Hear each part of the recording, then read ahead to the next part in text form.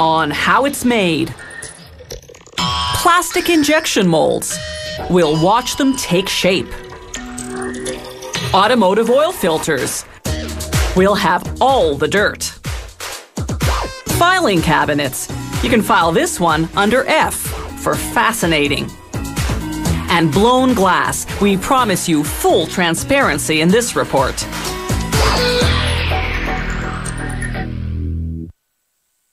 If you take a close look at the products around you, you'll notice that many are made of parts that have been assembled together.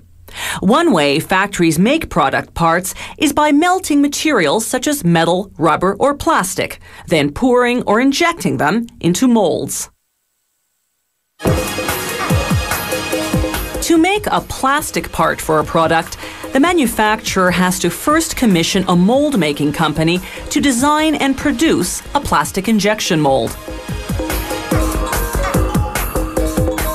The mold begins as bars of chromium steel, a high durability metal that can withstand repeated high pressure injection of plastic. Workers assemble several bars into a block called a mold base. They mount this base on a milling machine, which shaves the bars to the right dimension. This step is critical, enabling them to later machine the base into a mold that's faithful to the technical design, right down to the hundredth of a millimeter. A mold usually consists of two halves, each of which is comprised of several components. The factory drills strategically positioned holes in the bases for the guide pins and bushings that hold the components together when the plastic's injected. A grinder now goes to work smoothing and leveling all surfaces. This prepares the base for the high precision machining operations that will transform it into a mold component. A computer guided tooling machine called the CNC slowly machines the base, wearing away the steel particle by particle to create the mold component's shape. This one, part of a mold for the plastic rim around a snowmobile's front headlight, takes 20 hours to complete. From here, most mold components go on to a second tooling machine especially if they have some fine detailing that this CNC machine is incapable of carving. The second machine is outfitted with a copper electrode in the shape of the plastic part, in this case, a snowmobile oil gauge. After polishing the electrode to ensure flawless casting, they use a sophisticated measuring device to verify the dimensions. The electrode goes face down on the second tooling machine called the EDM. Directly underneath is the mold half that's already been partially formed on the first machine.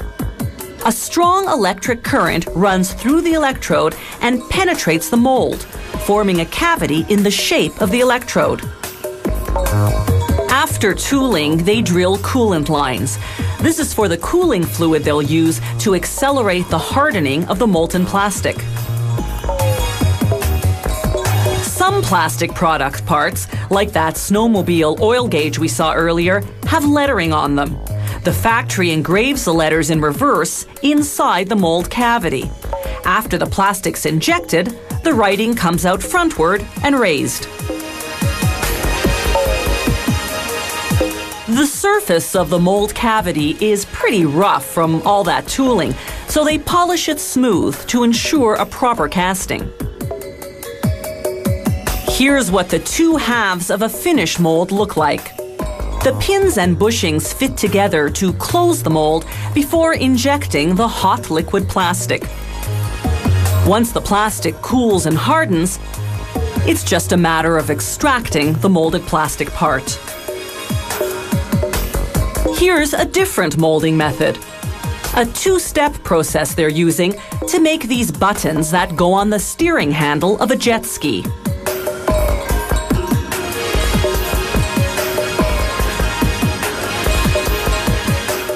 First, they mold a structural base out of hard white plastic.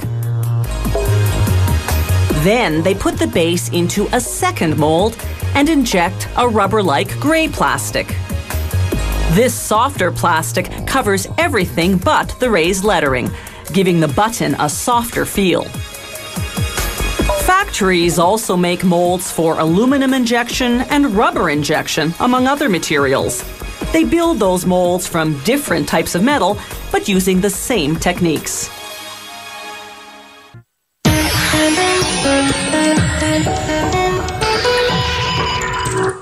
Changing your car's oil filter a couple of times a year is an easy way to prolong the life of your engine.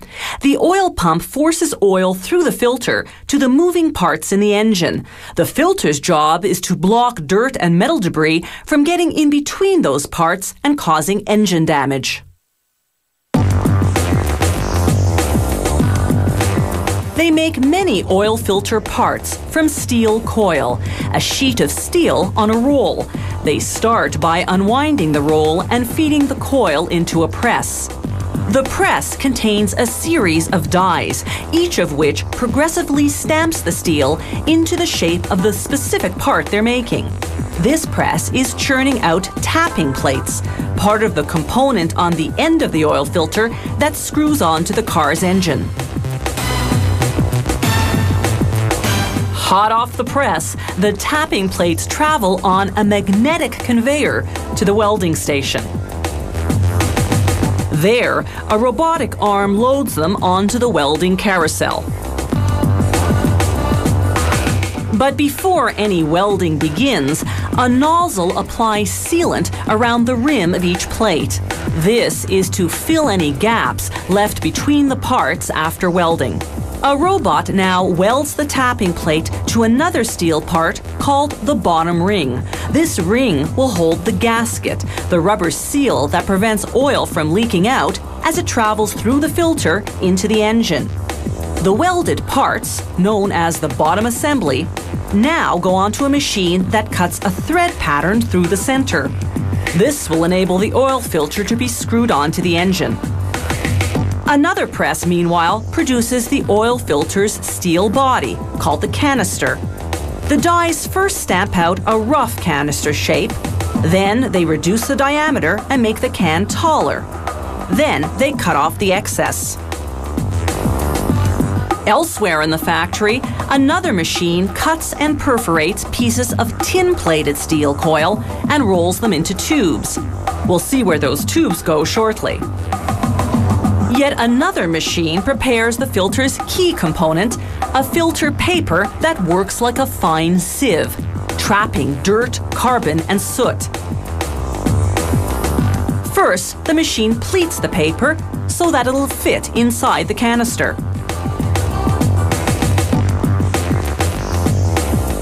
Next, the machine cuts the continuous ribbon of pleated paper into lengths. Then it folds each piece into a circle, fastening the ends with a steel clip. The next machine assembles what's called the filter cartridge. It places each filter paper over a tube. The tube's job is to reinforce the paper against the force of the oil pumping through it. The next machine glues a capping disc on each end of the filter paper to hold the tube in place.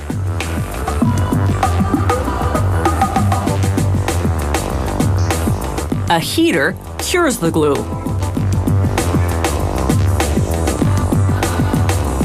Now for the final assembly. As the canisters go by upside down, automated arms insert the filter cartridges.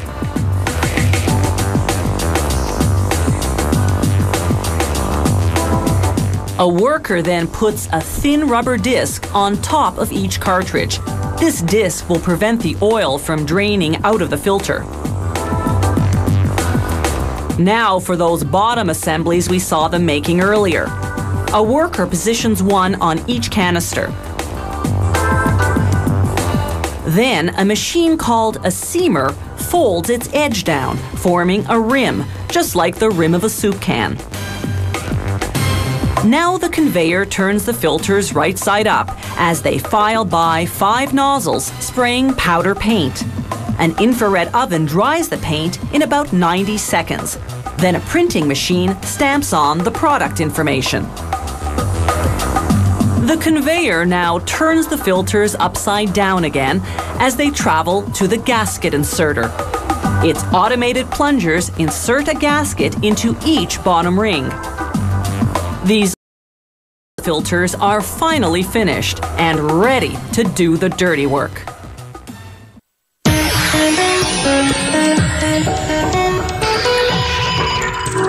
Whether you work in a sprawling corporate office or in a home office, filing cabinets are an essential component of an efficient workplace. They keep your paperwork tidy, organized, and out of sight, yet just a drawer away. And when you're short on space, they make a nifty counter for the coffee maker. Filing cabinets begin as sheets of cold roll steel, a thin type of metal that's easy to bend, weld, and paint. As the sheet comes off the roll, it goes through a straightening machine that removes the curve. Then into a press whose dies punch out the shape of the specific part, complete with holes, slots, and embossments. A filing cabinet is made up of 60 plus steel parts. For the top selling models, the factory has dies specially designed to punch out each part. But that's too costly a system for models that aren't mass produced. So, to make low volume or custom made filing cabinets, the factory uses this computer controlled punching machine.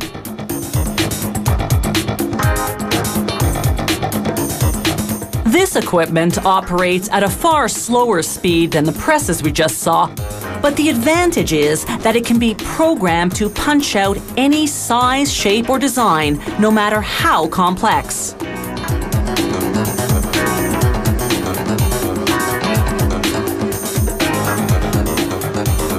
Several filing cabinet parts are designed to be bent into shape. Workers do that manually using a machine called a press brake. This particular part will become the top of the filing cabinet, so they're making downward folds along the perimeter to create 3.75 centimeter wide edges with strong and tight corner seams.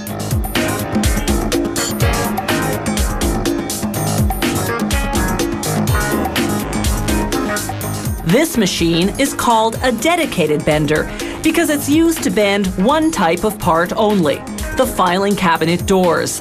The factory produces doors in such volume that it pays to design a special machine to shape them.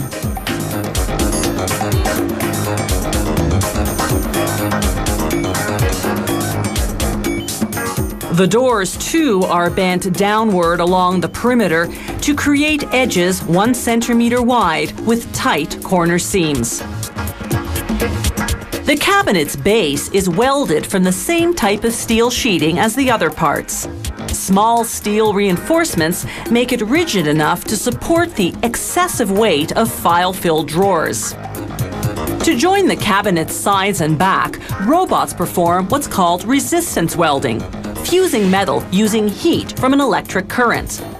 The next set of robots welds that side and back unit to the cabinet top, after this, workers attach the base using what's called MIG welding, welding that adds extra metal along the joint to create a strong seam. Once again, it doesn't pay to invest in robotic welding equipment for models that aren't mass produced. So they manually weld low volume items, such as those small filing cabinets that roll under desks. In the paint department, rotary atomizers envelop the filing cabinets in a mist of paint that contains a synthetic resin for durability. These atomizers lace the paint particles with a negative electric charge. This draws the particles to a positive charge on the cabinets, creating a thorough and even coat. After 20 minutes in an oven to bake the paint, assembly can begin ball bearing sliders on which the drawers will sit, tracks for the fold down doors, and door stops so the doors can't be pulled off their tracks. There's also a locking system that simultaneously bolts both sides of each door, rendering the files inside inaccessible. The last step is to install the doors and drawers using a rubber mallet so as not to damage the finish. Each drawer can support up to 90 kilograms of files. An interlock system lets you open only one drawer at a time. This prevents the cabinet from toppling forward.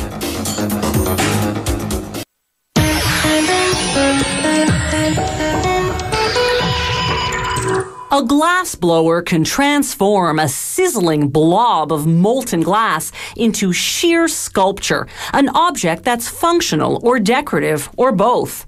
Blown glass can be on the cutting edge of modern design, quite a feat for an art that's more than 2,000 years old.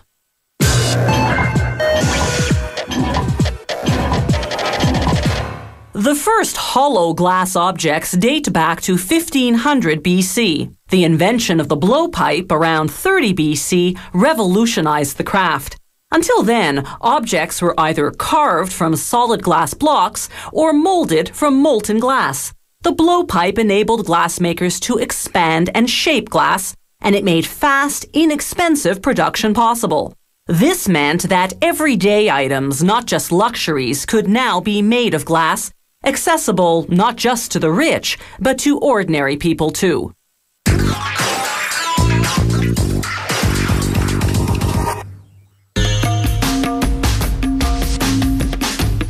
When you see these spectacular shapes and colors, it's hard to believe that blown glass comes from this bland, lumpy stuff. This is silica, a natural material derived from sand mixed with thinners and stabilizers such as potassium and limestone. The glass blower recycles any leftover colorless glass, then loads the mix into the melting furnace. After 12 hours at fusion temperature, 1200 degrees Celsius, the raw material transforms into colorless liquid glass. The glass blower uses a blowpipe, a long steel tube with a ring or pear shaped end, to collect what's called a gather, a glob of this red hot molten material. To color the gather, she quickly rolls it in finely ground colored glass. At this stage, the glass is honey like in consistency, though it's cooling and thickening by the second. She fuses the color layer by reheating the glass for a few seconds in a smaller furnace called a glory hole. Next, she rolls the glass against a ladle shaped block to form a starting shape for blowing. A gentle blow or two bulges it into a hollow bubble. By now, the cooling glass has thickened to the consistency of caramel, making it more controllable and shapeable. The glass blower stretches and shapes the glass with different blocks and hand tools. The glass is like hardened caramel now and holds its final shape. She scores the glass where it meets the blowpipe, then cools it further with compressed air. On the opposite end of the glass, with a bit of hot glass, she attaches a solid metal maneuvering rod called a pontil. Then she applies a single drop of cold water on the score line to crack and break the glass off the blowpipe. Using another pontil, she plugs the resulting hole with hot glass. Then it's back to the melting furnace to attach a gather. It's critical to always rotate the glass so that it doesn't droop and become lopsided. The glass blower shapes this gather not with a block, but by hand she protects herself from the intense heat by using a thick stack of soggy newspapers. Using an ordinary pair of scissors, she forms ridges.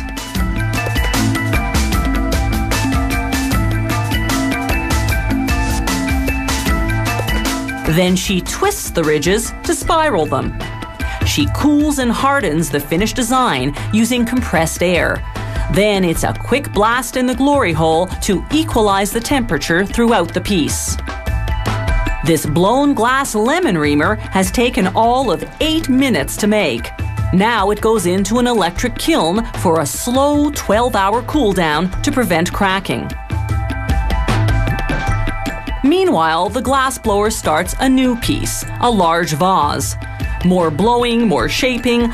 Then, while her coworker blows air to further expand the glass and thin it out, she cools the vase's bottom with wet newspapers. This holds the cutoff point at the top. After reheating the glass to re-soften it, they stretch it, lengthening the vase. Once they finalize the shape, they use a wooden paddle to flatten the base. Now for some eye-catching decoration. Vivid colored glass coiled like taffy over the entire vase. Certain designs require cutting off a portion of the finished piece. That leaves a rough, opaque edge they must extensively grind and polish. A lemon reamer, a vase, even a mortar and pestle. A glassblower's work is clearly remarkable.